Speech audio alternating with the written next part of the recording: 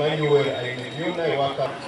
Others, uh, if I've not yet seen you, I think very soon. The same mosquitoes that are responsible for transmitting the, the, the, the allergy.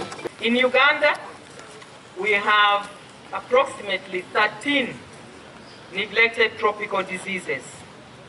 And these include river blindness, lymphatic filariasis, bilharzia, intestinal worms, trachoma, sleeping sickness.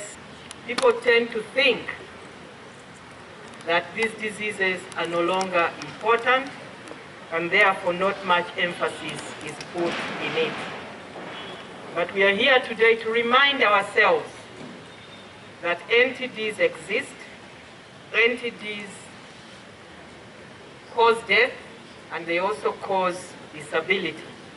So I'm calling upon our community, different communities. First of all, the mayor said here, diseases are too friendly to poverty.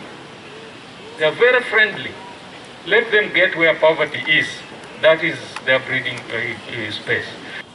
It, injects the sporozoites. But for